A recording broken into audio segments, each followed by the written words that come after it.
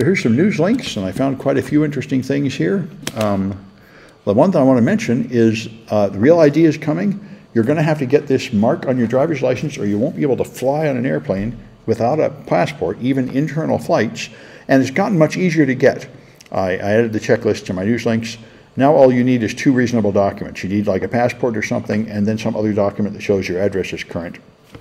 And there's like 20 possible documents. And I saw stuff like a voter registration confirmation and a vehicle ownership document, uh, registration of a car and stuff. So stuff you can reasonably have now. You have to go to DMV, but at least they'll now take documents you can reasonably have. Uh, when I tried to do it about a year ago, they only wanted documents that haven't existed in 20 years, like your hard copy of your hardline phone service bill and stupid things like that. Now they've added more modern options. So we all have to do that pretty soon, or you'll have to carry a passport for flying airplanes within the country, which is not terrible, but kind of silly. And also, you can register to vote online. It's very easy. I put this link in the news too. It's very easy. I did it this way, so much easier than filling out paper and mailing it back to them. And of course, uh, you might want to vote. Although, of course, California's voice in the presidential election means nothing thanks to the Electoral College. But anyway, um, you might want to vote for the ballot measures and the downline races and stuff. Um, that we'll get to later. Uh, so here's some more news articles. So Microsoft has updated their core cryptography library to include post-quantum cryptography, which I've talked about before.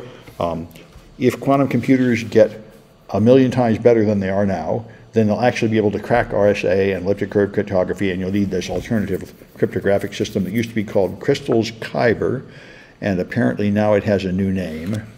I guess that was like a temporary name. Now it's called MLKEM uh, which is uh, machine learning with errors. Anyway, it's a new modern uh, system that cannot be cracked by quantum computer, so we should all be starting to move to that. And I'll include it in my cryptography course next time I teach it. Uh, I wonder if that's next semester. I think it might be. I put the classes for next semester at the bottom. Yeah, I'll be teaching cryptography next semester, so I'll have it in there. All right, anyway. Um, there's an interesting website full of research threats made against security researchers. They just gathered these things together and it looks pretty awesome. Here's the first one. In 2023, they arrested the students, stripped them naked uh, because they reported a vulnerability. They found software vulnerabilities in the student timetabling app. Uh, this happens a lot. When students tell like uh, schools and stuff that they found a vulnerability, just get accused of hacking and get thrown out of the school or imprisoned or abused in some way. And this website is, is collecting those stories, so they're kind of interesting. That's why, you know, the professionals say if you find a security vulnerability, if they don't have a bug bounty program, don't tell them anything, just let them get hacked. Uh, if you tell them, you're liable to just get hurt. Uh, anyway, uh, this is an interesting article I just learned about on Paul's Security Weekly. Um, unprotected container registries. My understanding of this, I haven't understood it completely, but I think the point is, yeah, registries are repositories where you can store and share container images. Now, containers are like virtual machines. You download a container and you're running a whole operating system and some software with all the dependencies and everything. And the point is, a lot of them would just let you put up arbitrary containers without proving that you're really a member. Um, and the public ones, like Docker Hub and Google Container Registry, have security features because anybody can put one up, but they make some attempt to stop you from putting up malicious ones. But people make private registries and then unsecure them, so you can send up malicious registries. And um, this is part of the supply chain weakness that people are getting very aware of. Um, when you develop software, you're downloading libraries from these repositories, and who know, really knows if it's the right library or if it's an old version or if it's been put up by someone malicious. And it's the same thing here, unprotected registries. He found 10,000 of them still open and unprotected, and this means uh, if you could put up one that fooled the developer at that company, they would start building software based on your malicious starting point, and you managed to sneak malware into it. So it seems like a bad idea. Um, this is kind of interesting. If you've done C programming, when you open a C program, the first line is this. Uh, you have exit something and you have this char star constant argv in every C program. And that means you can move in the command line arguments when it was called, but argv0 is the name of the program itself. And this turns out to be pretty weird. The operating system already knows the name of the program you're executing, but you pass in an argument which is supposed to be the name of the program, but it could be something else.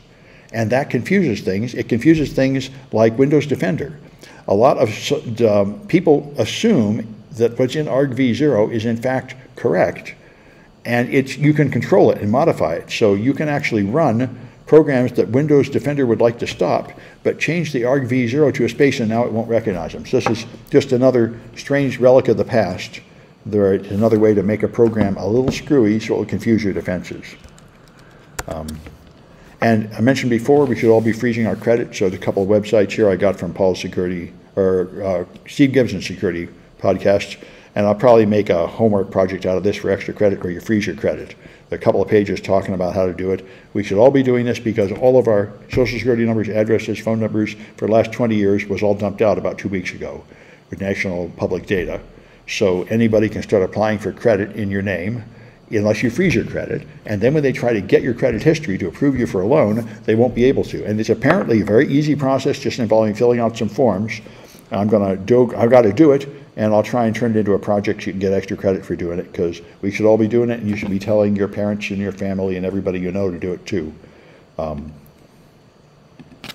let me check for comments in the Twitch, if I can figure out which tab it's on. Here we go. All right, there's no comments. Fair enough. Right, so Mexico seems to be going through a crisis like Israel. You know, before the attack from Hamas, um, there were huge riots in the street against Netanyahu because what Netanyahu is doing is changing the structure of the Supreme Court so they will no longer be able to check any of his powers. He'll basically rule like a dictator, which is also what's happening here with the Supreme Court declaring that the president is immune for any crimes he commits while in office. That effectively makes our president a dictator too. Um, so the same kind of thing is happening in both places, but they had a similar one. The one in Mexico would give citizens the power to elect all the judges, and therefore the ruling party can just get like 51% and then make all parts of the government just follow their, they say it'll, it'll collapse the checks and balances such as they are in Mexico. So anyway, um, many countries are going through similar upheavals right now to ours. Oracle says they're going to make a data center and run it with nuclear reactors. Apparently, these are what submarines use a small nuclear reactor in basically like a container, a shipping container. Uh, a lot of people talk about these small nuclear reactors being the wave of the future.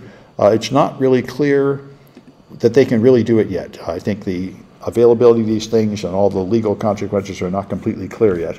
So it's not clear how long this will take or if they'll really be able to do it. But a lot of people are talking about this a way to get power without uh, putting any more carbon in the air. India is going to trade 5,000 cyber commandos to go around and improve their cybersecurity everywhere. Lord knows they need it. I found huge, ridiculous vulnerabilities in Indian apps and such. And uh, so they're going to have a registry with those involved in cyber and online financial frauds. And uh, anyway, they're going to try to have some government organized group of cyber experts helping people, which is not a bad idea, I guess. We'll see how it actually works out in practice, but I think many people need this. Um, most small businesses just do not know what they should do to become cyber secure. I'm going to be giving a talk to a psychologists association soon about this, you know, how to secure a small medical practice. And in fact, CISA and NIST have published documents that tell you how to secure your small business without going insane, and so that's what I'm going to base my talk on. Um, it's just what you think it is. It's like uh, update your software, change the default passwords, implement two-factor authentication. That's the first steps, you know, to take you from being completely vulnerable to a little more secure. And you have to accept, you know, going through stages of cyber maturity. Um, you do not get to be a professional company with top-notch security all at once. You move up a little bit and a little bit. You improve your practices. So Elon Musk is very much like Trump and very similar, and he has been posting many false posts about non-citizen voting. This is Trump's big issue, claiming that he, if he loses the election, it doesn't count because non-citizens are voting. This is completely false. There are many studies showing that there's number of non-citizens that vote is a ridiculously small number, like 500 in the whole nation, not enough to sway anything. And um, but he spread this myth that a huge amount of election fraud is out there and Elon Musk is vigorously spreading it too. There was also this claim recently that the immigrants are killing people's pets and eating them, which is completely false. And Trump quoted it at the debate, and the, even the ABC moderator fact checked him and told him to knock it off. But Elon Musk was spreading that one too. So, you know, since he took over Twitter, he's made it uh, like Fox News, like, like Rumble, he's made it just a bastion of Russian uh, disinformation and other disinformation, you know, just spewed out.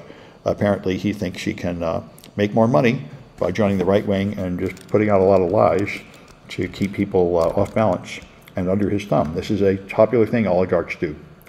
They make the people sort of fed up, make them distrust the government, distrust the news, distrust science and medicine, and you just give up and just put up with whatever the government does, and then you don't mind when the government is just completely corrupt. You expect it and accept it. So I've heard uh, Scott Galloway is always saying we should educate social media. There's evidence that some people regard as pretty strong that, that children are harmed by social media, like Facebook and Twitter and, and so on. And so the Australian government said they're going to do it. They're going to introduce a minimum age for social media access. And the interesting thing that I would like to know, which is not here, is how do you measure the age of people?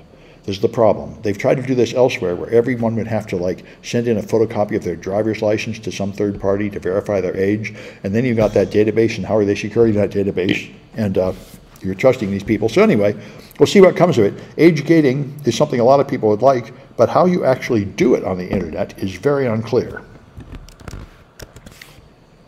And Poland had a um, commission investigating the use of Pegasus software. I've talked about this before. Pegasus software is the powerful malware you can buy for like a million bucks, and then you can just take over iPhones and anybody else's phones.